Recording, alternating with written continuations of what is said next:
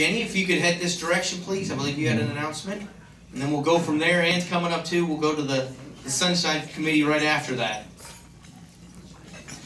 Also wanted to mention while they're coming this way is Heidi Woodward, who is the current president of the Rotary Club of Bryson City, has been elected an alderman of that city.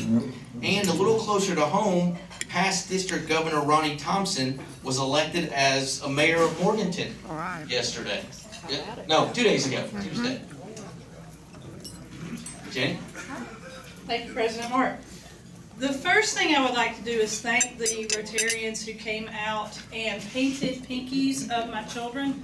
I know that John was there, Ms. Huffman is not here today, but she was there.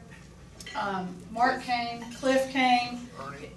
Who else? Ernie Lachey is there. Ernie was there. It really tickled the kids because they think that Rotarians are like superheroes. We are. So they really thought a lot of other people coming to do that. So thank you for taking the time to do that. I hope that you were as blessed by that experience as we were. So today, what I would like to do is present from the children of Southwest Elementary where our enrollment's like 325. We have a check for two hundred and eighty-eight dollars and thirty-six cents, so somebody got like part of their pinky covered. Um, to the Hickory Rotary Club for uh, polio eradication and for us to donate to um, Rotary International. So thank you very much.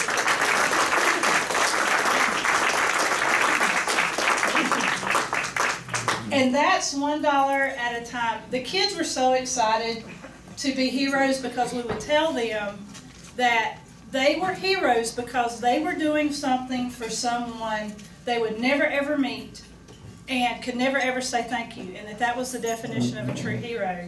And they were so proud to walk around the school and smear their purple everywhere and say, I'm a hero. They would run up to you and, or to me and say, I'm a hero, look at my pinky. And all the rest of my hand is now purple. So it was awesome, thank you. Thanks, Jenny. That's great for the school to donate almost three hundred dollars, almost a dollar per head. We really appreciate it, and that, that's a great effort on their part. Probably didn't make any friends with the janitor, doesn't sound like, but. That's right. Also, I need two volunteers, if you could see me afterwards if you're interested. I need one, uh, we need an interact chair to interact with Hickory High School, so if somebody would have a, have an interest in, in heading that up, please see me.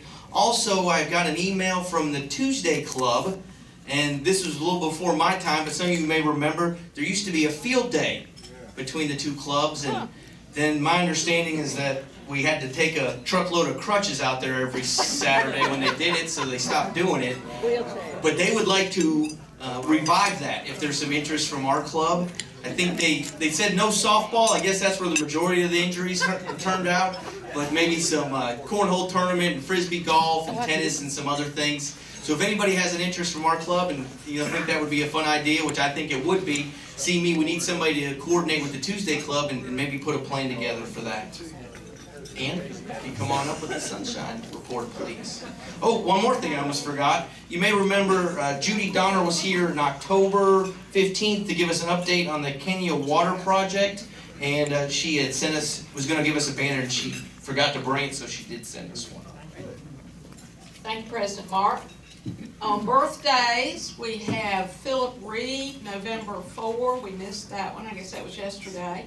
Sandy Fotheringham here today. Yeah. Sandy's birthday is November 7, which I think is Saturday. So happy birthday, Sandy. Health of the club, I learned at my table that our uh, former member Anna Shook um, is expecting her third child, so that's a wonderful, wonderful thing. Drew, you're gonna give us a report on Neil. Yes, uh, Neil has, uh, been moved, he's at Kingston Manor now, uh, and, uh, he is in the rehab, I think he's across the hall from Avery, if that's correct. So Avery's over there, uh, he's taunting Neil, saying it's time to race, so we hope that works out soon. Neil's making progress, but it's a slow progress, as you can imagine. Uh, and so he, he is in a place where he can have visitors, uh, but we just want you to continue to keep him in your thoughts and prayers. And, And also Sandy, who's been kind of a great friend and supporter. We know what that's like when you're trying to support somebody going through something like this as well. So let's keep Sandy in our thoughts as well. Thank you, Drew. I, I've got two things for us today. Uh, this may be repetitive, but I was, my attention was caught by the cover of our September issue of Rotarian. It says, Dear Polio, we have very bad news for you. Very, very, very bad news.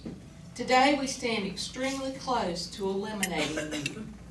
We still have more work to do, but we'll get there. Someday we'll live in a world where you no longer exist. So, prepare to exit stage left. Adios, au revoir, sayonara, toodles, goodbye. Sincerely, Rotary. Okay, five signs, yeah. Five signs that were spotted here and there, and the first one's really bad. Toilet out of order. Please use floor below. In a London department store, bargain basement upstairs. Spotted in a safari park. Elephants, please stay in your car. On a repair shop door, we can repair anything. Please knock hard on the door, the bell doesn't work. And finally, uh, this was a headline in the newspaper, not the Hickory Daily Record, while the Mill Homes held it. But, man kills self before shooting wife and daughter. You Gotta think about that one. Thank you, Ann.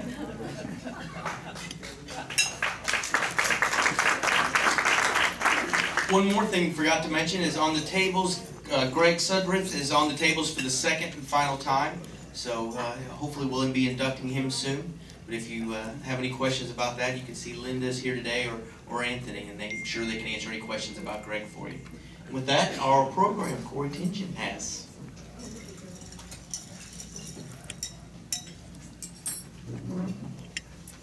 So our guest speaker today is Al Kirshner, and Al is the owner of Food Matters Market and Cafe. And if you saw your spoke on your tables, or if you saw on Facebook, we have a little bit more about him. One of the things that I've noticed uh, in getting to know Al better is he is very passionate about a few things. He's very passionate about good food.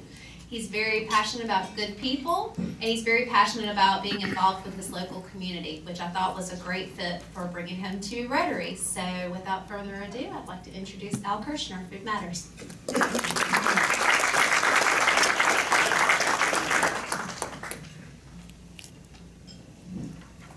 I'm gonna set this thing right here, hopefully, and work. First of all, I want to thank Corey for, can you hear me okay? Uh, I want to thank Corey for giving us the opportunity to come and speak with you today and share with you some of the things that we're doing and want to be doing in your community. But before we get into that, I got to tell you a little something about myself. I'm from Wisconsin. I'm a very strong Packer fan. And I want to put that on the table right up front because Sunday, we may not be on the same side all the time. So I just want to let you know, I'll be at the game. I usually go up to, to Wisconsin every year for a game, but this year I felt, well, it's close and we can probably take it in. So I hope I see some of you folks there. We, uh, just to tell you a little bit about our company and what we want to do and why we're here in Hickory. We're, our home base is Brevard, North Carolina, which has a total population of about 8,000 people. Our vision and our business plan and what we plan to do is to bring healthy food, healthy alternatives, and a, an interesting market to smaller communities. I'm sure you all are acquainted with Whole Foods and Earth Fare, which I can segue into in a minute, but it's, we felt there's a missing link a lot of these communities where people are not having the opportunity or the proximity to select good, wholesome, and healthy products. So that's the reason we came to Hickory. We opened our first store in Brevard, North Carolina, uh, a population of 8,000 people. we took over a place that had already gone out of business, we refurbished it and started in. We had planned on not being in this situation quite this early in our growth, but it turned out fairly well, fairly quickly in Brevard. So we decided, okay, let's go out, we raised some capital, and our plan was to open up three stores and then take a stop for a minute. But our overall business plan is to be in about 2018 or so forth, having about 15 to 18 stores either open or in progress throughout the Carolinas and probably a little Tennessee or Georgia. It's been an interesting journey so far because it's quite intriguing when you go into the smaller communities. Now, I have to tell you, Hickory's on the high side of the population. Uh, we had, our model rate calls for 30, 15 to 30,000 people.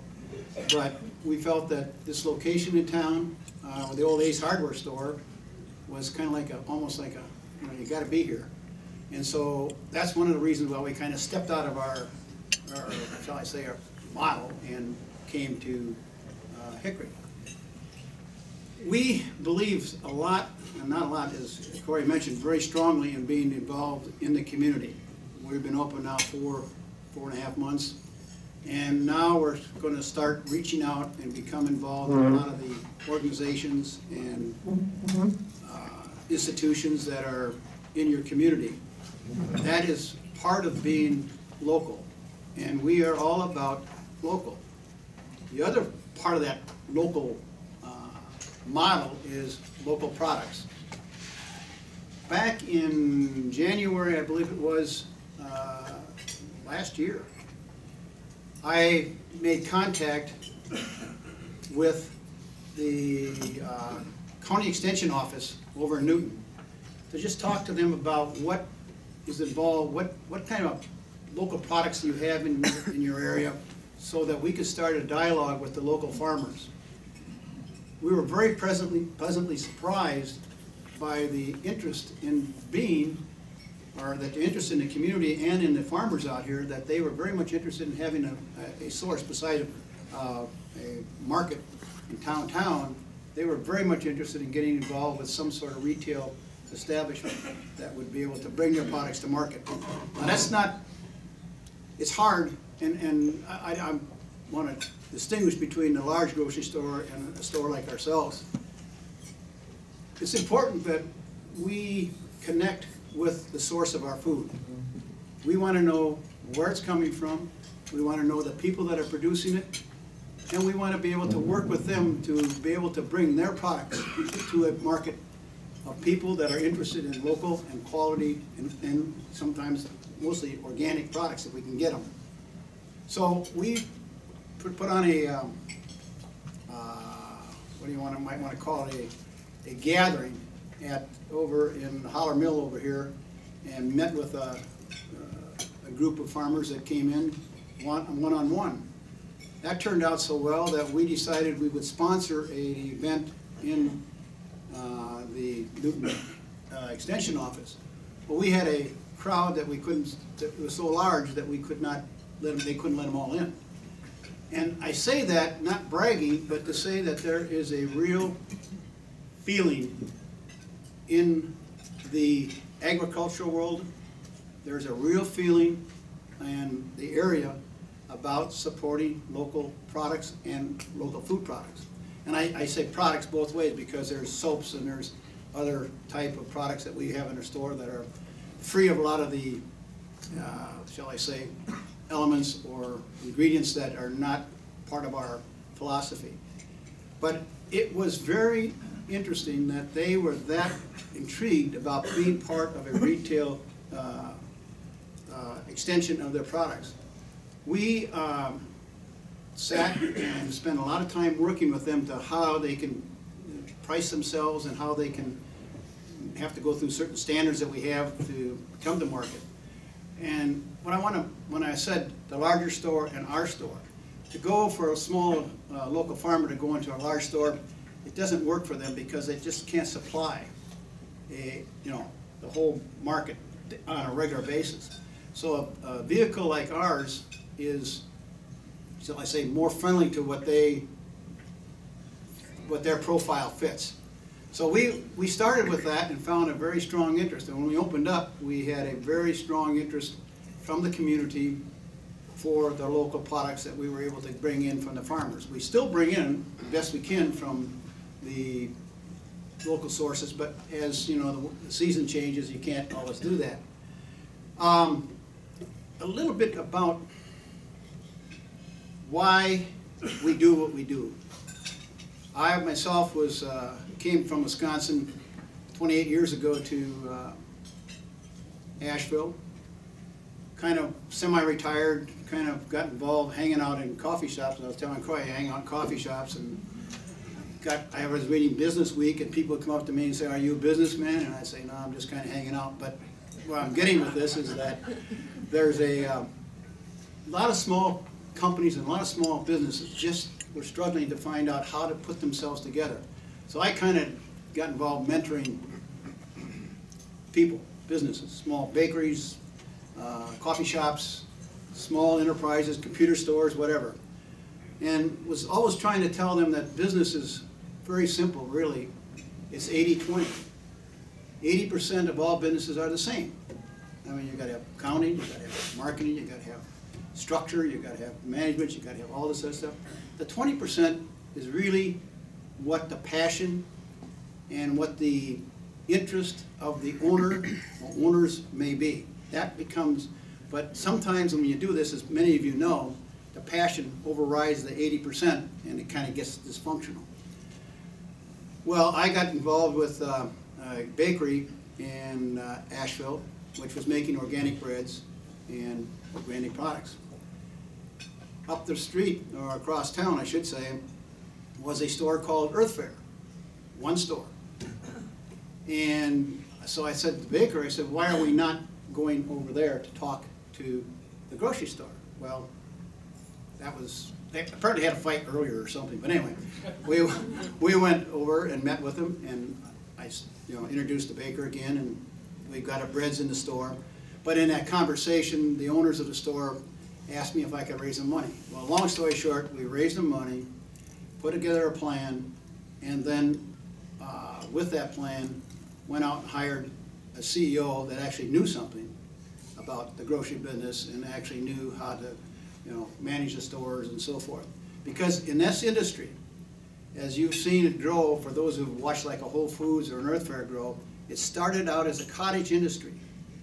It started out with people in the back garage, not, just like the computer bureaus. They were getting their products, they were bringing it to the store, and they were selling it out there, but really weren't making any money. So it has matured, as you can tell with having a Whole Foods being one of the premier grocery chains in the country.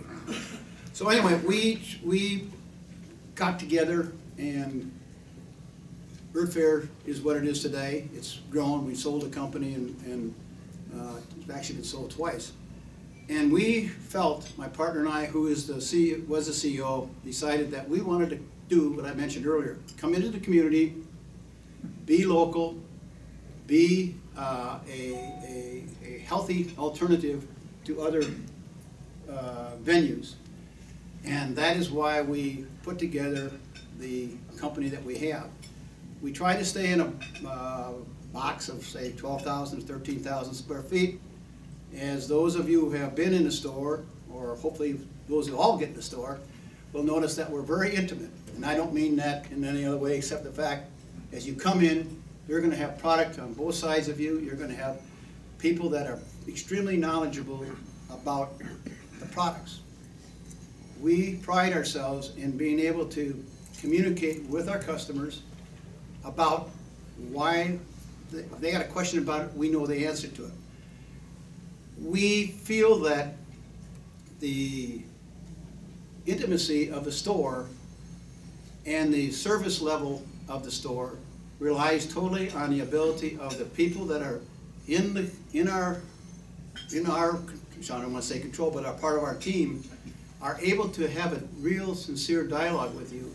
And a lot of people ask, you, for those of you who've been in, and those of you who've not been in an Earth Fare or Whole Foods or some other uh, healthy store, when you look at our shelves, you say, gosh, there's cereal, but I never saw that brand before, I never saw this before, I never saw that before. And it's very helpful for our people to be able to explain to you why this product is what it is. And I, I, in your stuff that I gave you, I think we have it in there, there's a, a list of ingredients, for example, that do not show up on the shelf of our store anywhere. Once in a while, something slips through, and I'll tell you, some customer comes up and tells me, or tells the people on the floor, hey, this isn't right. And it isn't right, but somehow it got through our, our system. So a lot of our customers are very knowledgeable about what we do. The task for us is to be able to reach out to others and kind of help them make a transition. Now, I'll be honest, I don't eat organic all the time. I eat healthy, try to eat healthy foods and, and look at that, but we're not just an organic store, we are a healthy store with healthy alternatives. And we also found that a lot of our customers who were traveling elsewhere to other stores like Whole Foods and Earth Fare were very knowledgeable about the products. And so when we came here, we knew that before we came. But I was reading, when we picked this market, there's a, there's a survey, some of you may know about these surveys, but this tells you where your business is going. And there was a great migration of grocery, grocery stores or grocery products and, and markets going out of town. And that told us that, you know, there's a lot of people going elsewhere to get their stuff versus staying in Hickory to get their stuff. So we looked at it as an opportunity to fill a niche and uh, really try to help the public understand better why they should be eating products that are free of a lot of ingredients that are, you know, they're probably not gonna kill you, I'm not gonna do that, I'm not up here saying everything's gonna do you damage. But over our period of lifetime, some of these things do affect your body. It was interesting, uh, I was involved in a um, startup company, which failed, but it was a uh, skin moistener, organic, totally organic, and uh, very, very good product. The owners or the uh, president, they probably weren't the best business people, but that's beside the point. The point that was intriguing was that I learned very clearly and very quickly that so much of your stuff that you put on you from other sources of moisturizers and creams and so forth, I mean, a, a high percentage, almost seventy percent, sucks into your skin. That is one of the ways that a lot of people talk about drinking something or eating something they're gonna get. You get a lot of stuff through your skin. In fact, most of the damaging stuff comes through your skin. So this, this intrigued me, and I looked at our product lines, and, and I'm not the product gatekeeper by any means.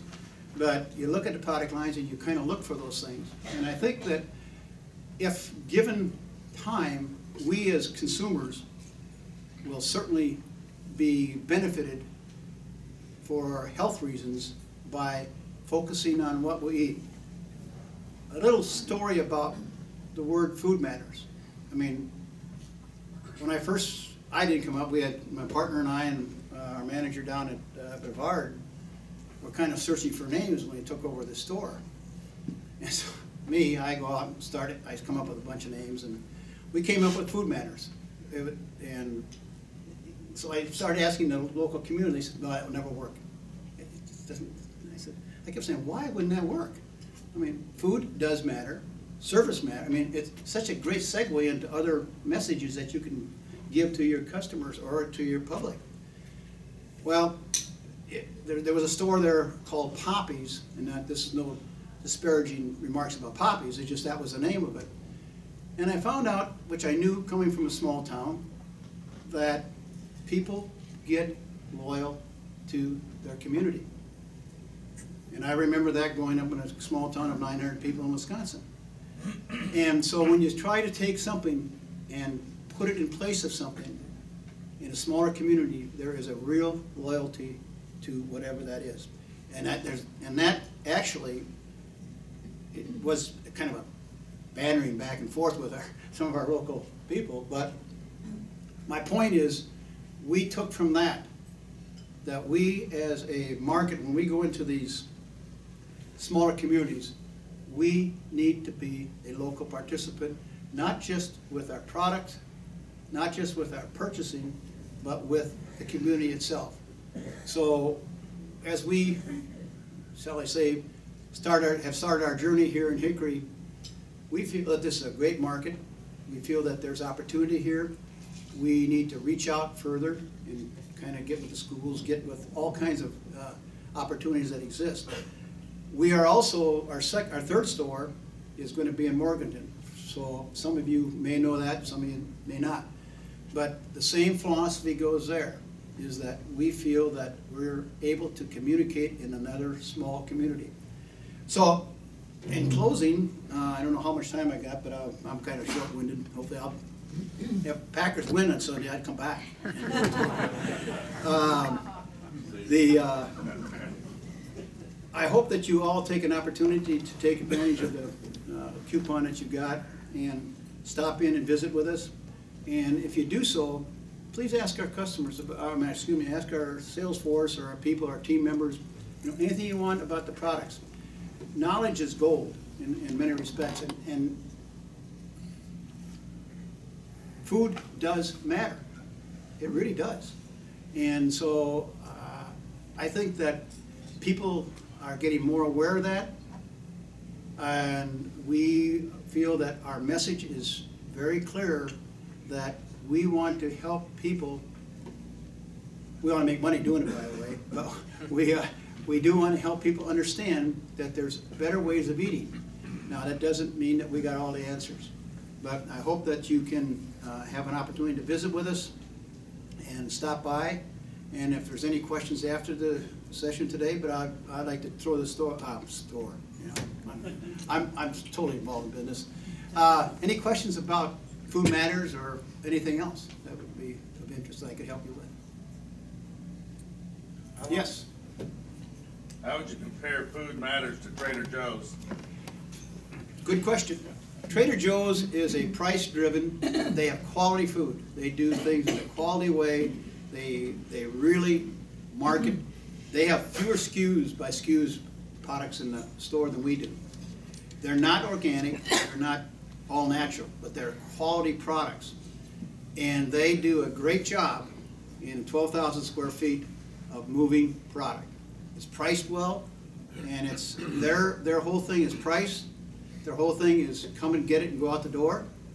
Uh, And they just move, their whole philosophy is move it. They have, what I understand, that they'll have two trucks come a day, and they just take it off the truck, put it in the back room, and stick it on the floor. That's great. I mean, we can't do that, we just don't have that much business. So their pricing is better, but they're not what we are. They, they're not a national organic store or a health food store in effort, but they're great competition, I'll say that. A lot of people look at it. Any other questions or any comments? How many of people have, probably a dead question, I probably shouldn't ask it, but yes. Well, just uh, welcome to Hickory. Uh, Really glad you're here. Hope you guys do well. It's a great concept, and uh, we're glad you're here. Well, I'm happy to be here too, so looking forward to it. Thank you so much for allowing me to be here today, and we'll be a member, we'll probably see you guys more often on a weekly basis or so. So thanks again. Oh, yes. Um, I- it's, it's a statement as well. Um, I don't know if you are, um, gluten intolerant or do gluten-free diet, diet, but they have tons of product there, gluten-free. You go down the aisles, my, my mom is gluten-free, and so And there and get stuff for her, and it's amazing the selection, so. Yeah, and I, I wanna just get, thank you for that. I'm gonna, a little segue to something else. So Those of you who are looking for, uh, what I wanna say, that, we call it HBC, Health and Beauty Care Products. I go back to the skin analogy. We have a, as great a selection of products that you can get anywhere in the country. I mean, Whole Foods and other ones have it. You can get a lot of stuff online, but we have not only just a product, but the ability to explain to the use of the product to our customers. So we, we're very strong in that area. And all our, we have a great variety of local meats too. There's, um, it's got nothing to do with the seasonality as much, but we do have some great, and we, that's the thing we pride ourselves in, local and, and quality meats. I like the idea that you have a small store, and I'm wondering what part of your business model relates to the size of the store versus like, you know, like a 3,000, 4,000 square foot and the profitability versus a mega store that we're used to? That, there's, that's an interesting uh, uh, question. Our model is simplicity. We look at it this way. You, you, you make money on your gross margin, you make money on your labor cost, and you make money on, uh, the, the only thing you can't really play with once you're in is the fixed cost of your rent. So in answer to your question, we picked the, the, the smaller model. I mean, Earth Fares are bigger, but we've picked it for two reasons. One, obviously, the size of the community. We, if we came in here at a twenty-five thousand square foot store and tried to do business with, with Lowe's or other companies, or, we'd get killed. Because we just couldn't match the pricing, we couldn't match the other stuff, so we shrunk it down. But that's not the real reason why they're the, the size they are. The reason that they're the size that we can put our products in, anybody can walk in that store and feel comfortable that they're gonna be able to look at everything, it's right there. And we're able to maintain a labor cost because less than normal, not, not normal, but less than what you would in a larger store. Because you can get to a customer within a minute and a half anywhere in the store. If you walk in, we can see you, if you've got a question, you, all you gotta take four steps and you'll run into somebody. But we don't have a fast, if you go in a lot, and I'll use Lowe's because it's right up the street, there's a lot of people. But our people are, our people are within one, like I say, one and a half minutes at the most from you if you've got questions. And they are, they can go to you or come down. So that's the intimacy part that I was talking about. So our model is simplicity, intimacy, and the ability to manage our, our communications with our customers. It, it's all about that. And, and we can, we can be more helpful because we're closer. That, that's the model. Any other questions? Well, thank you again for letting me be part of your lunchtime, and hope to see you folks in and make use of the coupon. And if you're in the store, just ask for Al if I'm here. Like, we're kind of working our way in Morganton right now, trying to get open in January, so kind of running around a lot. And then I my wife at home manages my life, so I got to go back there and check in every so often. So, thanks again.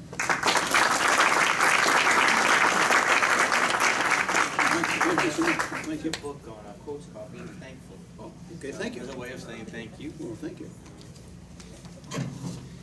Thank you, uh, visiting Rotarians for joining us, as well as guests of Rotarians. Just want to remind you to sign up for Transportation Insight next Tuesday, as well as Salvation Army bell ringing, the Leadership Institute on the 14th, and the movie on the 16th.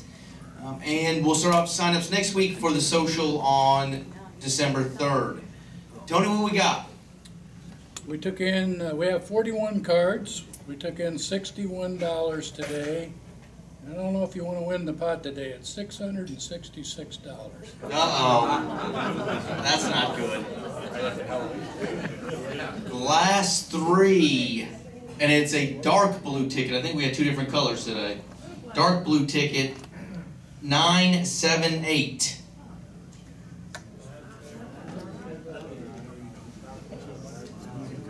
While everybody's checking their Jerry, all right. Also, please see me afterwards if you're interested in being the field day coordinator or the interact chair. All right, we've got one.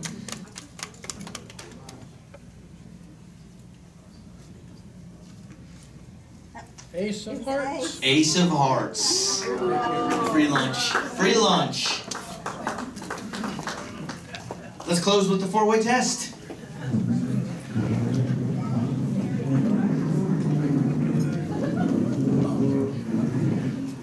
Of the things we think, say, and do, is it the truth?